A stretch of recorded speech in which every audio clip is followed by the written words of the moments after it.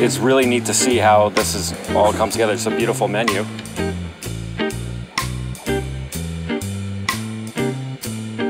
Let's get some people on board and start serving some food.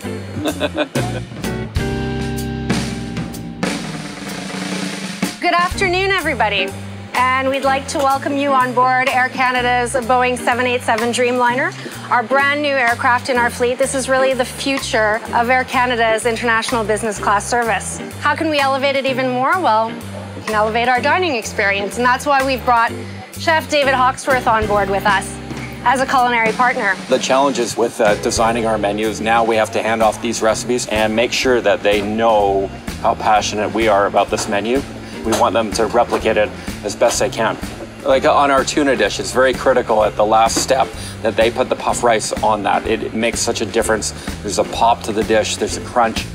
It's been a real pleasure this entire journey working with Chef and his team, creating dishes that we can't wait to unveil to the world at 35,000 feet.